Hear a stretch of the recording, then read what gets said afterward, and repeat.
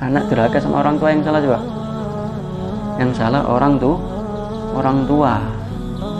Karena tidak sukses mendidik anaknya. Dalam tanda kutip tidak sukses ini tidak sungguh-sungguh. Tidak perhatian betul-betul. Karena seorang anak mulai dari lahir itu tergantung orang tuanya. Karena secara tabiat secara alami seorang anak itu mengikuti dan mewarisi daripada sifat-sifat orang tua Adapun ilmu dan etikatnya itu bagaimana orang tuanya kemudian mengarahkannya, mengajarkannya, mendidiknya dengan pendidikan yang sesuai dengan ajaran Nabi Muhammad SAW.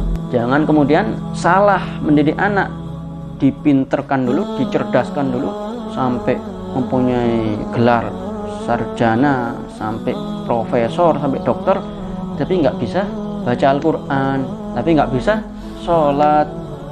Nah ini salah fatal ini harusnya dipintarkan dulu soal agama baru pintarkan soal dunia. Paham ya?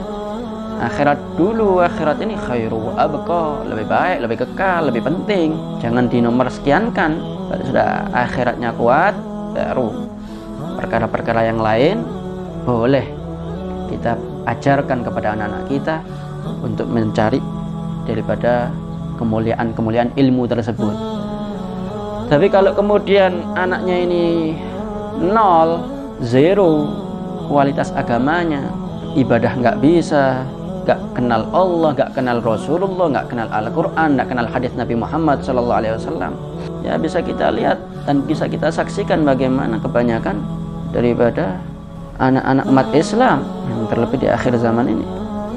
Mungkin waktunya habis nanti dengan hal-hal yang haram. Atau paling tidak habis waktunya dengan hal-hal yang sia-sia. Mulai nonton TV main game atau bahkan billah melakukan yang dimurka oleh Allah mabuk-mabukan perzinahan pergaulan bebas judi dan lain-lain sebagainya. Yang mana hal tersebut membuat hidup mereka sengsara. Kalaupun seumpama dia ahli dunia tapi nggak ahli akhirat ya akhirnya kalau pintar nggak amanat korupsi mengurangi timbangan atau melebihkan timbangan dengan memberatkannya nggak jujur khianat pendusta. Kenapa? Karena orientasinya dunia. Nggak kenal akhirat nggak kenal Allah nggak kenal Rasulullah SAW jadi dia termasuk orang-orang yang bil akhsarina a'mala alladzina dhalla sa'yuhum fil hayatid dunya hum yahsabuna annahum yuhsinuna sun'a. Hati-hati. Orang tua yang memiliki anak yang durhaka kerugiannya dunia akhirat kerugiannya dunia akhir akhirat. Inna min azwajikum auladikum aduwwal lakum fahdharuhum karena nanti anaknya itu bakal jadi musuhnya di hadapan Allah di pengadilan Allah. Orang tuanya soleh anaknya nggak soleh wah, dituntut nanti di pengadilan Allah. Ya Allah jangan masukkan orang tuaku bapakku ini ke dalam surga karena dia tidak mengajarkanku tentang engkau.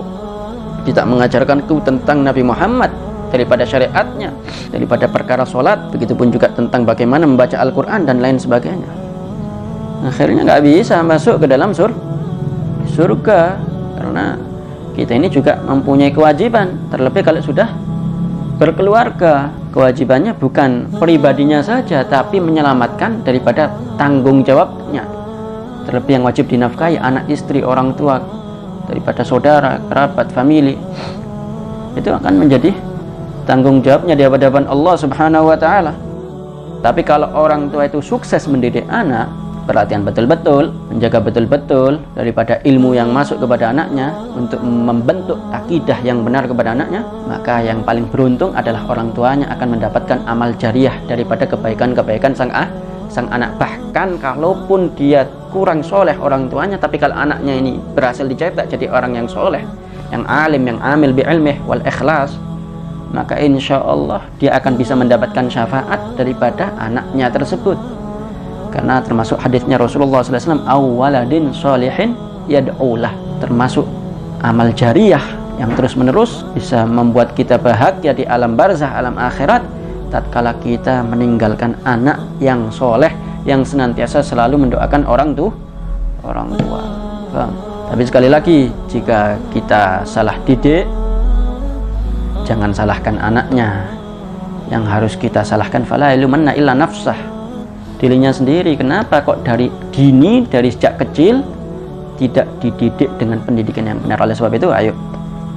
Kalau nantinya ente-ente semua punya anak yang berumah tangga begitupun juga sahabat kita yang mengikuti live streaming ini kalau pengen punya anak yang soleh ya didik dengan pendidikan abawiyah nabawiyah sesuai pendidikan Rasulullah SAW jangan nanti menyesal belakang karena penyesalan itu tidak akan membuahkan hasil yang baik hanya derita, air mata, kesedihan tidak akan bermanfaat penyesalan